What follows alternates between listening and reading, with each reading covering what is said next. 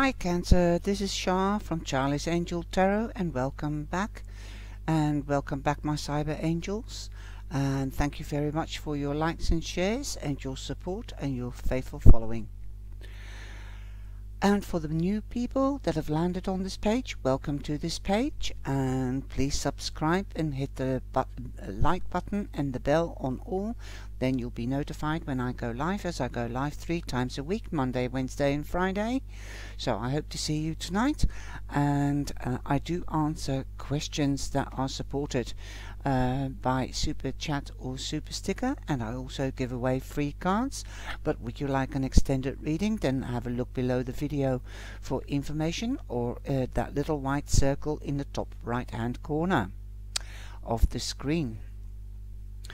Okay and there is a new reading the crystal ball reading so that one you can find back on the website. Okay so um, I'm using the 9 card spread. This is the querent or the all over energy. And Monday, Wednesday, Friday, Saturday, and Sunday. And the cards are rounded to clarify it.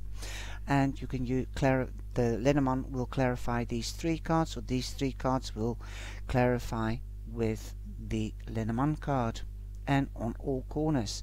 Then I've got the Reading Angel card and I've got Archangel Metatron, the angel of white light and that will flow through your crown chakra and through all chakras and clear them and heal them. Okay, so let's get started with your reading. Remember, the romance readings are out now and I hope you will enjoy them as well. The first card cancer that you have is the star. The star is a beautiful card because it means that your wish or your goal is coming true. You could also be meeting an Aquarian as the star represents Aquarius. It's number 17, so that becomes an 8 and that means money might be coming to you and your that's the money house and the strength house. The money house means also lottery, inheritances, uh, mortgages going through, loans, gifts of money, uh, uh, uh promotions, pay rises, things like that. Okay, a great start card to start off with. On Monday, you have the Moon card, and the Moon card is a water card, so that means uh, psychic abilities, or you might be uh, highly sensitive. Your senses are um, on the alert, especially since this we've just gone into the Moon of Leo in the zodiac of Leo. Okay, so we are in another phase. We are now in Leo, so happy birthday if you're a cross watcher. And um, uh, we're going into Leo month, Leo August. Um, on Saturday, I think, Sunday or Saturday. Um, as we are going into another zodiac, well, we're in the zodiac sign, but in the month of Leo, and that is August, at the end of the week there will be an ending as you've got number 18 and where there is an ending there is a new beginning. But uh, you uh, there are things that you don't know because here you can see a mask around the moon. That is to represent the dark side. There are things that you don't know but a moon is a spotlight so you're in the spotlight so is the sun and the star. And you've got two. So the something you are in the spotlight and like I said an Aquarian might have an eye on you or Pisces as the moon represents Pisces. It is also um, uh, what do you call it? Uh, your yeah, your psychic abilities your intuition your emotions might be heightened at this moment. So be careful when you're signing contracts, make sure that you read the small print, get more information and do more research. That's the dark side of the moon. But it could also be a person that's not being their true self if it isn't you. Now you can see the trees here. They, these trees represent the two pillars on the card of the moon. In traditional tarot is the black and white card. That's the shadow and the light. We can't do without the light of the day and the dark of night to get our rest. So make sure that you also get enough rest so that your emotions won't be so raw or sensitive, especially around this time because we've just gone into another zodiac sign and we're coming up to a full moon or a new moon in a couple of days. On Wednesday we have the King of Swords and you can see he's writing there. The King of Swords is Gemini but don't exclude Libra or Aquarius and you've got Aquarius here so that is highlighting Aquarius more prominently in this reading than anything else besides the Pisces. You might be seeking legal advice, you might be starting a new study, you might be starting to write a book, or you you might be signing contracts. Okay, um, perhaps you might be seeking advice, clarity, because you've, you've got two spotlights here. So you might be going to the library or seeking advice from a teacher, a father figure, or a mature man. He knows the letter of the law and he also cuts straight through to the core to get to the truth. And he's a good researcher. He will research for you and give you the answer that you need. It might be because, like I said, you might be writing, uh, uh, signing a contract, so you might have to get the small print sorted out and be aware of any ifs or buts. There could be competition if you've been applying for a job or starting a new job because there is an ending like I said. Okay, you might be feeling out of whack, out of balance because you've got number 5. This is, some readers say, a disagreement card, but I leave that to one side really. I say it's the competition side. So you might mm, be in a competition or there might be com competitive energy around you. On at the weekend you have number three so you are creative and your boats are coming in. Like I said there might be more money coming in. Your wish is coming to fulfillment. Perhaps you wanted a promotion or a new job. Well, it's here by the end of the week. It, remember, time is man-made, and um, we let's have a look. We've got three and five, so that could be in the eighth month, August, and we have 18, so it could even you've got an eight here as well. So you've got two cards adding up to an eight and an eight here, so that is double numbers, and you've got a nine here, so it could even edge into September. Now the first corner card that you have is number 4 so it will be stable, it will be secure, it will bring you safety because I think whatever your wish is it will come true and it will happen in divine time. You've also got the King of Cups so that is Cancer. So you've got, um, here you are, you've got the King of Cups so be nurturing. You might even seek advice from um, a cancer person. Okay, if you are cancer, you could be the king of uh, hearts as well if you're not meeting a man, but you could be more businesslike. You are crossing your T's and dotting your I's, making sure of the small print in contracts, and you are protecting yourself you are standing your ground. This foundation is okay. Once you do that, you are taking care of yourself. Well done. The king does represent Cancer, but don't forget Pisces or Scorpio. You could be meeting one of them. The house means that you might be isolating yourself because you feel safe and secure at home. So get out of your comfort zone, okay? Dare to uh, to express your feelings. Dare because we've got the moon card, uh, moon card and star card here. So it's a very uh, highly um, sensitive time. Um, the house means that you might be buying a house. The house also means security um, and feeling safe and that you're isolating yourself, don't isolate yourself and definitely don't burn the candle at both ends. Listen to your intuition. Come out of your comfort zone, but take care, and I think you are doing that because you've got the king. You have invested wisely because you can you've taken care. Of course your boat is coming in. You're mo moving on from uh, 3 to a 4 well done. Now like I said um, you have taken care but you are in the spotlight. People are watching what you are doing. So they are also aware of you that you have got your head on your shoulders okay? That you are steady and secure in what you do and you love to do what you do. That is passion.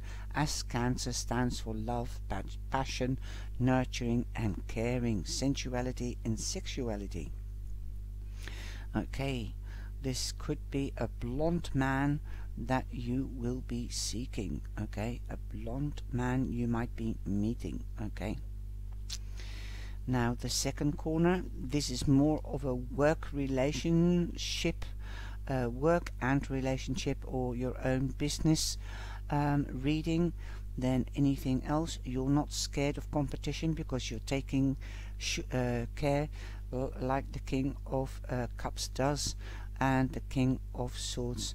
You are getting all the information before you sign documents. You want to have a proper uh, secure house uh, um, that's what the house means secure investment. You've got the lilies. That means luck in business. But it also means again the same as the king. And here you've got the king of spades and that is the same king the king of uh, swords. So that's quite prominent that it comes in twice as well. And again three and three uh, so 3 3 watch out for numbers. 3 3 that's an angel number. You have clarity that you get clarity and do it by the letter of the law.